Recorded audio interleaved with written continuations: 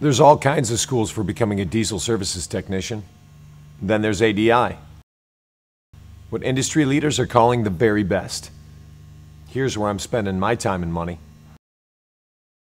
Baker College's Auto Diesel Institute of Michigan offers unparalleled facilities, faculty, and training to become a diesel service technician. And as part of Baker, it also offers the opportunity for graduating with a college degree.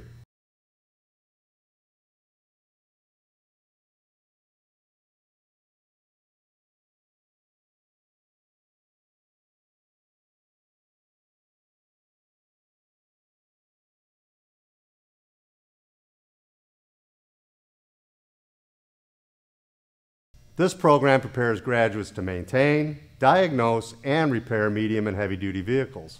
And what's most important, to perform successfully on the certification exams required to work as a diesel mechanic in the state of Michigan. In just one year, I can learn everything I need to start working on diesel engines, heavy duty electrical systems, brakes, and suspensions. Then I can choose from elective courses to learn welding for heavy duty repair, heavy duty HVAC, hydraulics, and so on.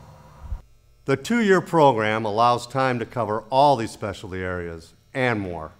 That makes you even more attractive to employers, especially organizations that want to see their employees earn a college degree and learn the basics that make them stand out on the job. Both programs are unlike any other and have distinguished Baker as a Michigan Cat preferred college. Heavy trucks, bulldozers, tractors, combines, even some cars and boats. They all need well trained diesel techs. The ADI is set up to make me the very best, and that's job security.